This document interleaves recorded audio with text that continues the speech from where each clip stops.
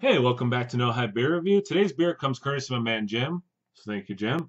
This is, I believe, the last of like the regular uh, New Glarus fruit beers.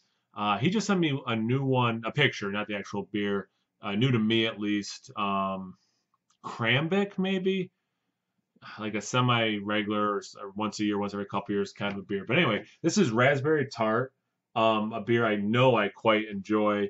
Um, I've had this before a few times and um, I'm going out of town for the long weekend, so I'm probably not going to have a chance to do a beer review for a few days. And um, I thought, you know what? Let me pick a beer I know I'm going to like, since it might be my last beer review for a few days. And uh, and also after doing that Rosetta from Ommegang, um, just something with some nice fruit. Sound like it was going to hit the spot. All right. Um, I didn't look up the ABV, but these are pretty low. Yeah, it doesn't say ABV into the uh, glass, see what it looks like.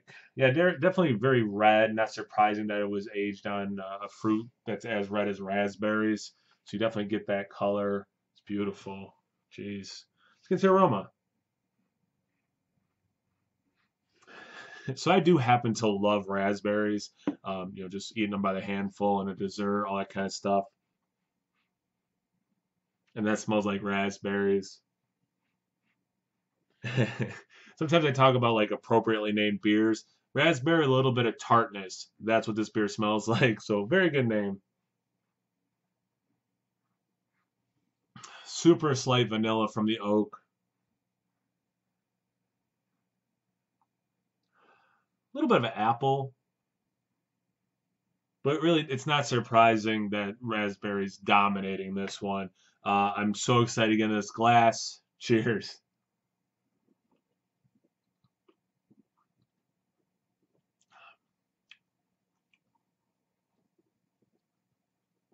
Has a pretty strong raspberry taste. So definitely, if you don't like raspberries, stay the heck away from this. Um, and and I said this in a lot of these fruit beers uh, videos. You get a little bit of that tartness coming, but then the fruit kind of like rounds it out. So it's not overly tart at all. It's definitely not a sour beer uh, or, or very puckering.